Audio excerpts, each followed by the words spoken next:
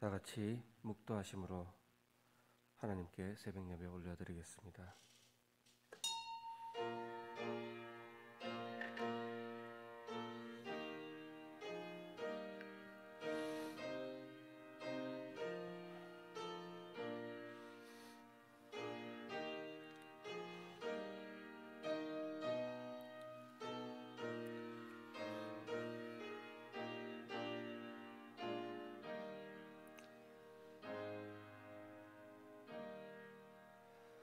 사랑하는 하나님, 하나님께서 주신 그 모든 상황 가운데 우리에게 기쁨으로 새벽을 깨워 말씀을 찾고자 이 자리에 나오게 하신 하나님께 감사합니다.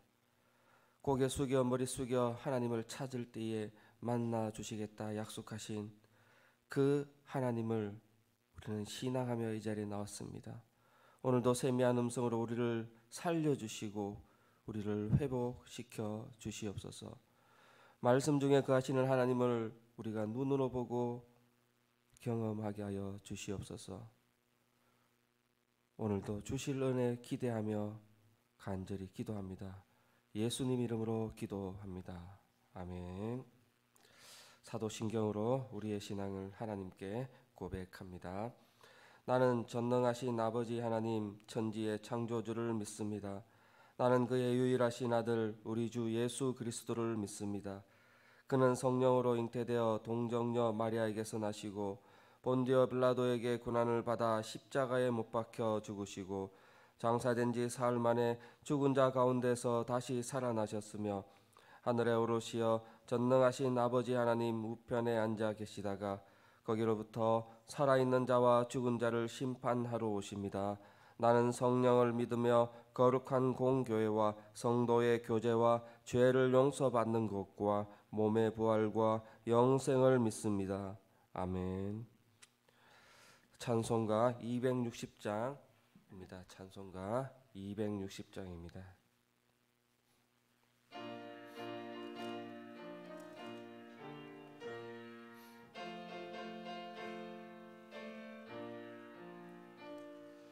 우리를 죄에서 구하시려 주 예수 십자가 지셨으니 기쁘게 부르세. 할렐루야. 나 구원 얻었네. 찬송하세. 찬송하세. 주님 나를 구하셨네 찬송하세 찬송하세 주가 구원하셨네. 우리를 죄에서 구했으니 이전에 행하던 악한 일과 추하고 더러운 모든 죄를 온전히 버렸네. 찬송 하세 찬송하세. 주님 나를 구하셨네. 찬송하세 찬송하세. 주가 구원하셨네. 나 지금 죄에서 사함받아 거룩한 백성이 되었으니 장막을 벗을 때도 겁날 것 없겠네. 찬송하세 찬송하세 주님 나를 구하셨네. 찬송하세 찬송하세 주가 구원하셨네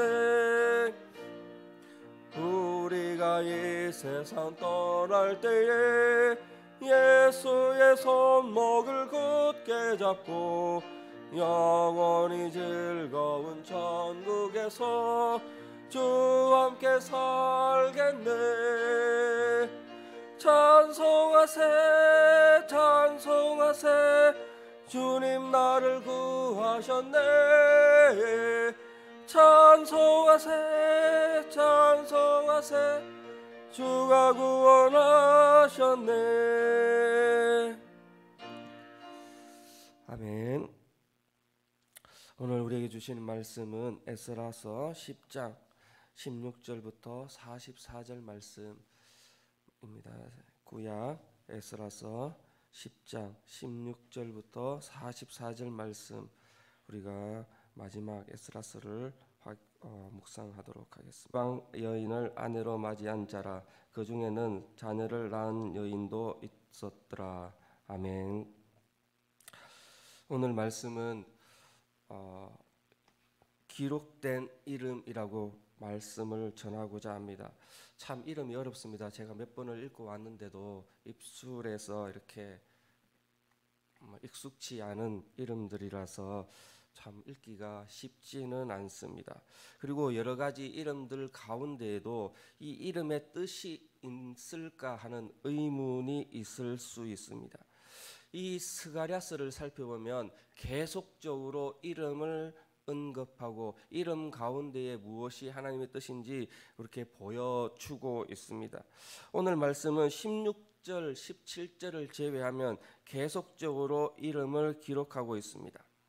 참 지루하고 참 의미 없는 이름 같지만 이 속에도 성경에 기록된 이름, 그 기록된 이름 가운데에 하나님의 뜻이 또 하나님이 하시는 말씀이 포함되고 있다는 것입니다.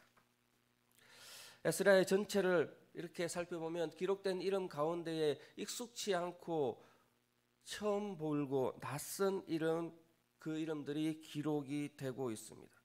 이 이름 가운데에 우리가 하나님의 뜻을 발견할 때에 첫 번째로는 이 기록된 이름 가운데는 현재의 신앙의 상태를 나타내고 있다는 것입니다.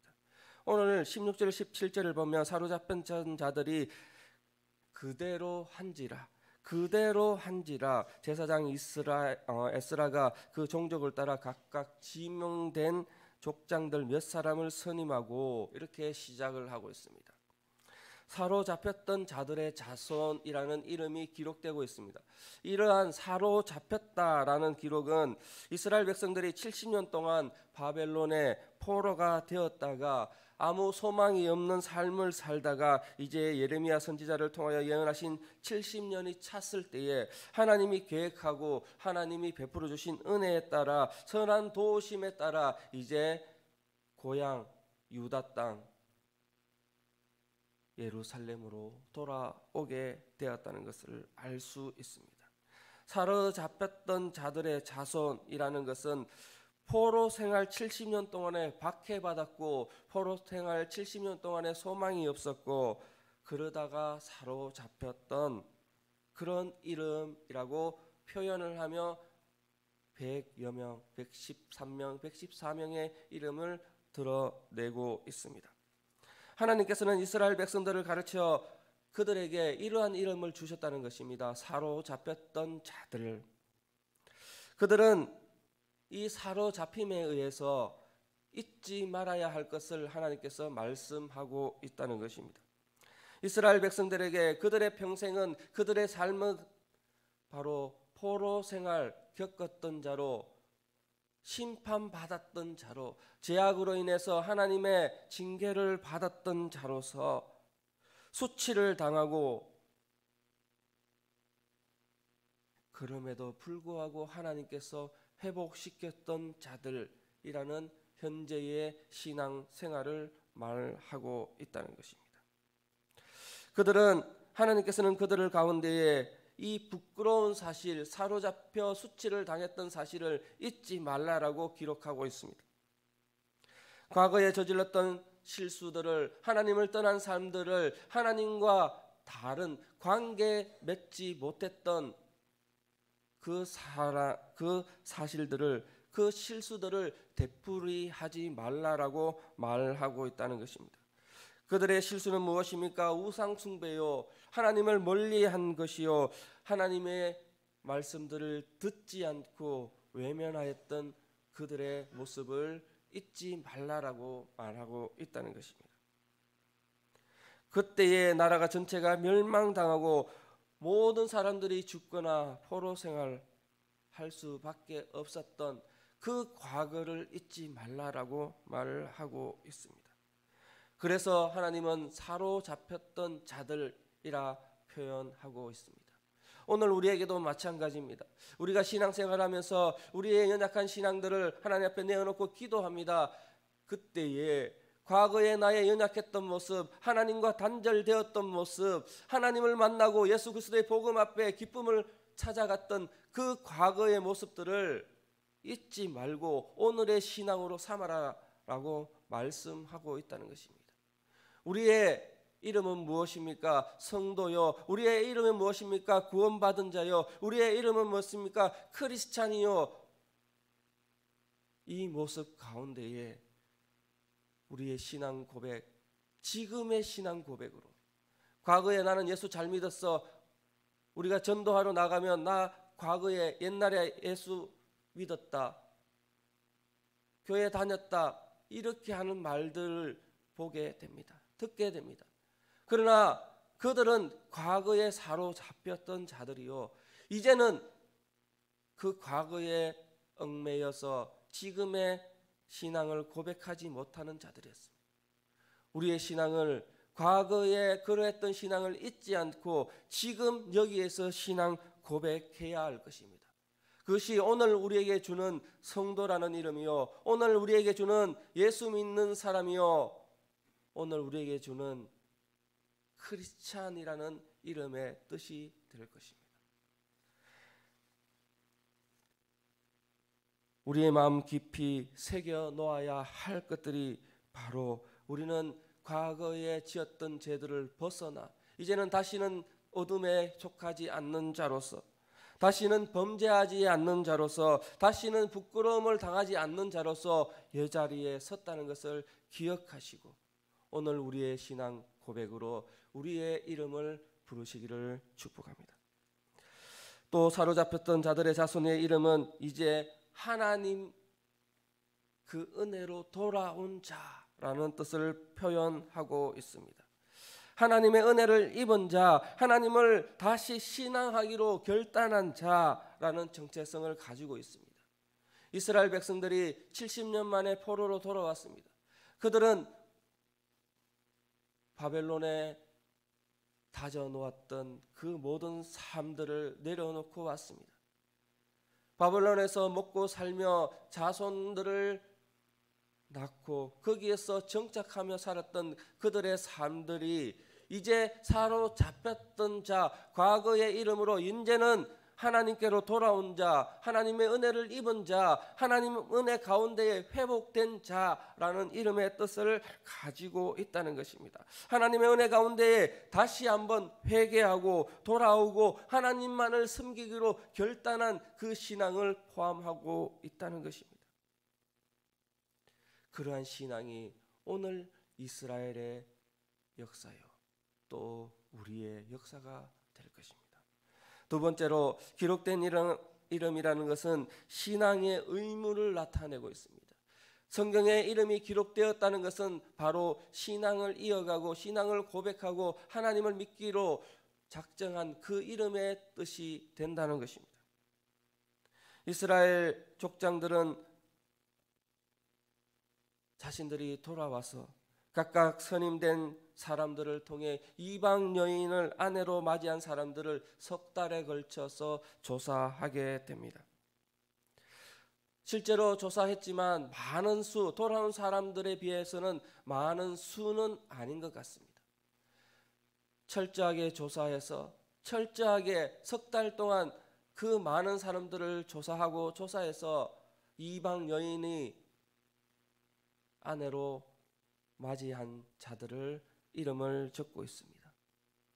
성경학자들은 이 이름 적힌 사람들은 다 회개하고 돌아오고 결단한 자들로 실제로는 더 많은 사람들이 더 많은 이스라엘 백성들이 이 여인들을 취하였다라고 생각하고 있습니다.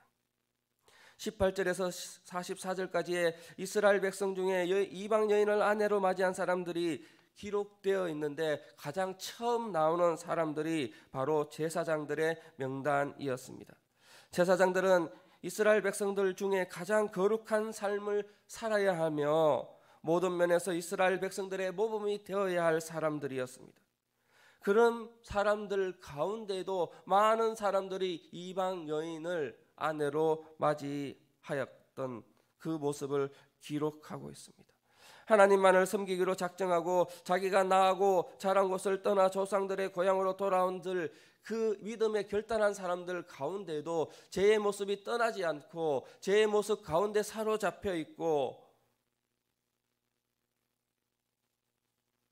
죄 가운데의 삶을 살고 있었던 모습을 보여주고 있습니다.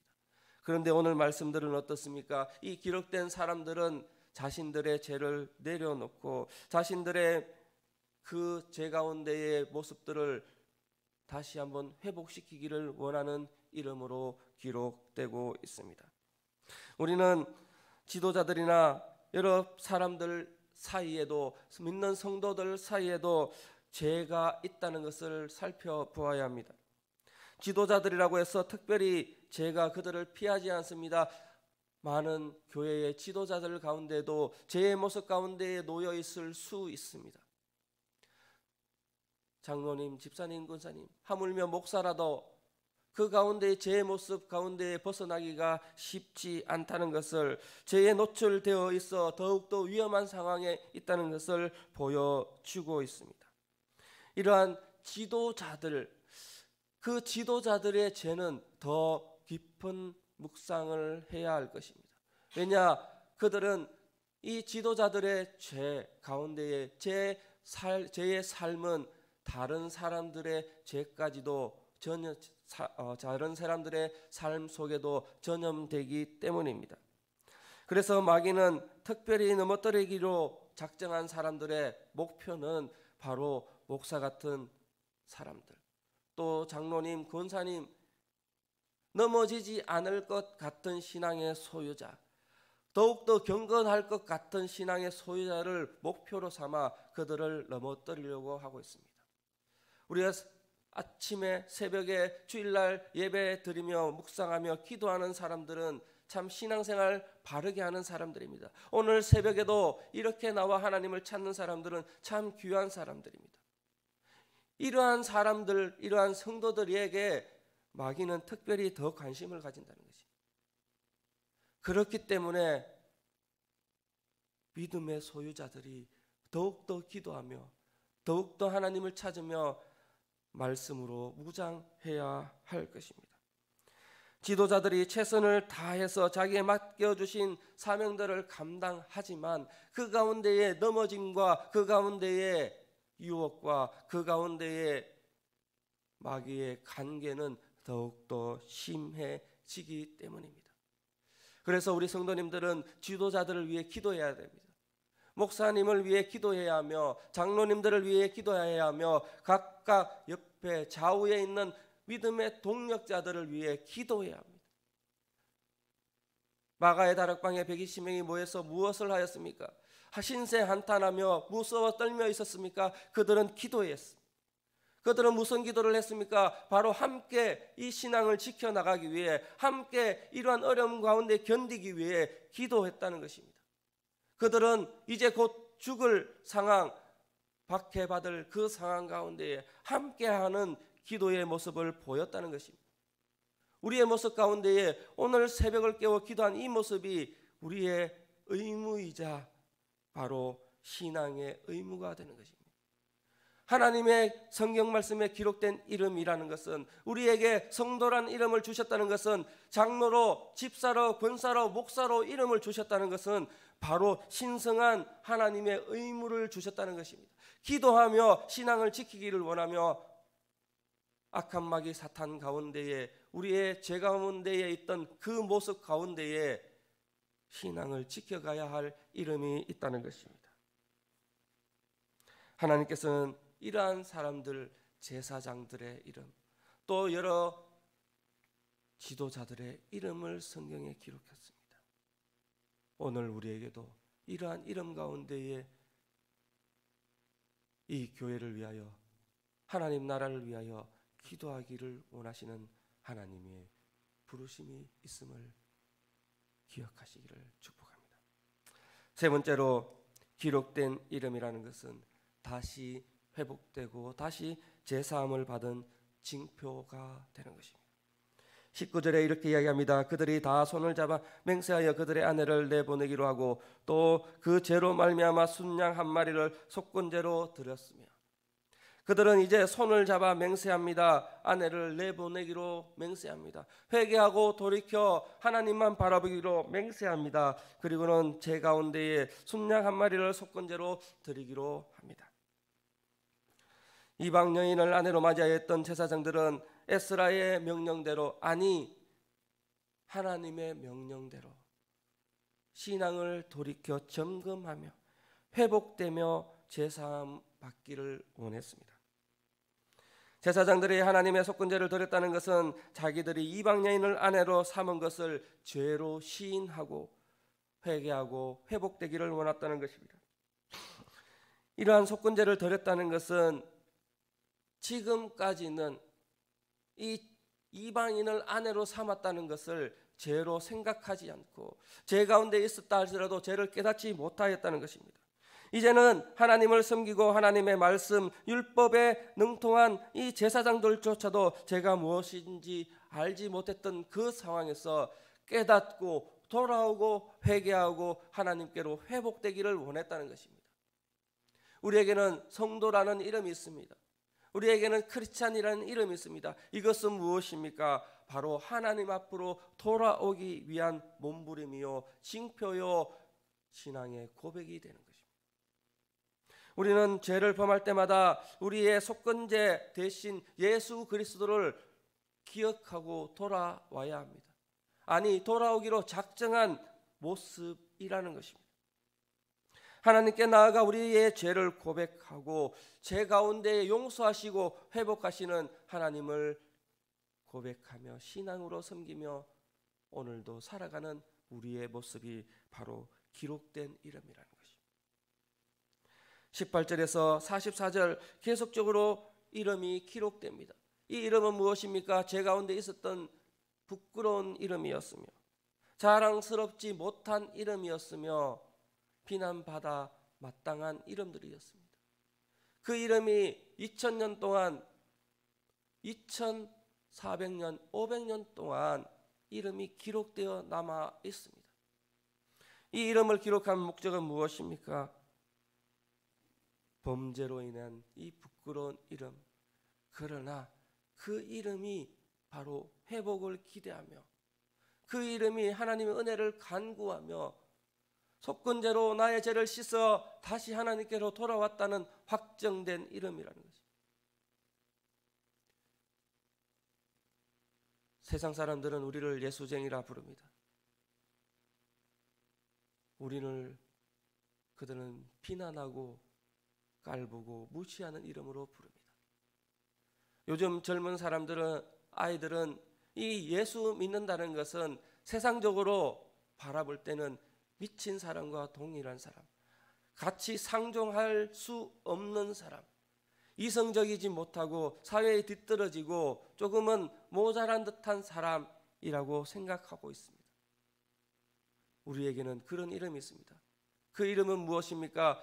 때로는 부끄러움이 될 수도 있지만 이 이름은 우리의 신앙 고백, 다시 제사함 받아 하나님께로 돌아온 이름, 하나님의 은혜를 받은 사람, 부끄럽지 않는 이름이 되었다는 것입니다.